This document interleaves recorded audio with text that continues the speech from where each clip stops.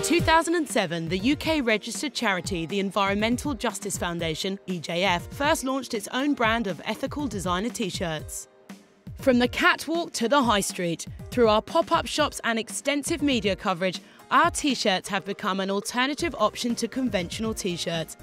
Not only are these t shirts a sustainable source of income, they are also the face of our Pick Your Cotton Carefully campaign, dedicated to eradicating forced child labour and the deadliest pesticides from cotton production. Promoted by over 60 fashion personalities, including Lily Cole, Erin O'Connor, celebrities such as KT Tunstall and Frances Bean Cobain, designed by international fashion designers including Luella, Katharine Hamnett, Christian Lacroix, and Jade Jagger, with stands at London, Paris, New York, Milan, Berlin, and Copenhagen Fashion Weeks. Our t shirt campaign's collection of ambassadors has become a true who's who in the fashion and celebrity world. With the outstanding support and interest from these big names, the media, and the world's top fashion shows, EJF's message has gone global. Conventional cotton is riddled with damaging social and environmental practices woven into its journey from the field to the shops.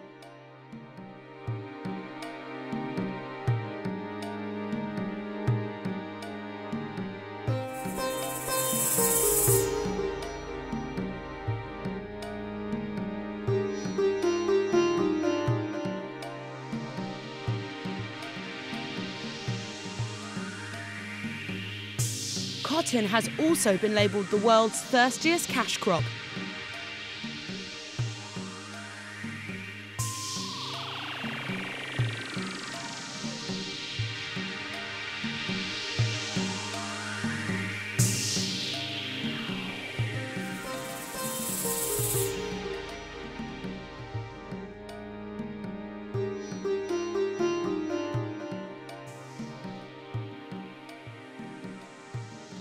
But cotton production doesn't have to be like this.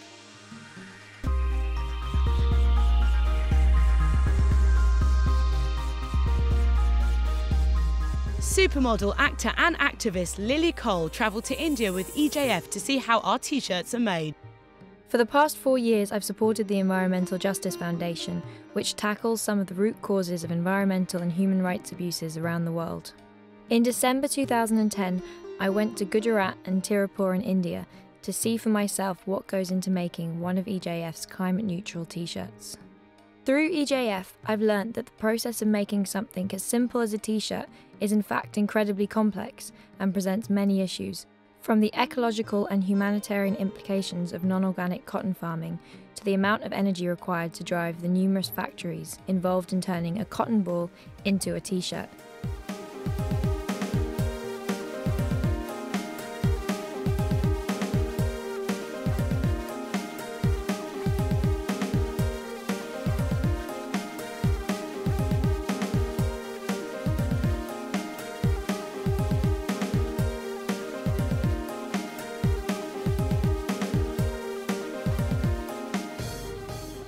In the exemplary factory that we visited, it was really exciting to see this streamlined machinery and know that somewhere not very far away there's a whole host of wind turbines that are quietly creating a sustainable source of energy for this production.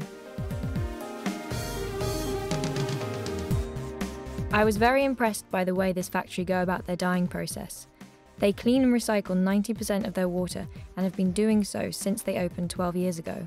The huge vats of bubbling waste product were disgusting, and it's terrifying to think that in other places this could end up in a local river, like the one we could see over the horizon.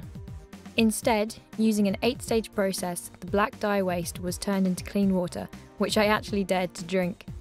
The water goes back into the system and the process starts again, with only 10% lost due to evaporation.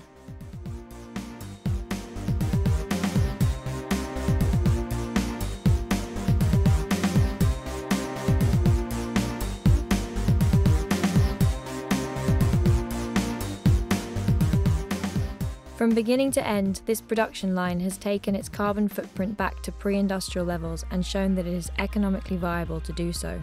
This way, industrial measures of production can evolve to coexist with our ecology and become sustainable. Besides the fundamental importance of protecting our planet's future, it makes economical sense too. We need this long term vision. Our Our Pick Your Cotton Carefully campaign has two sides.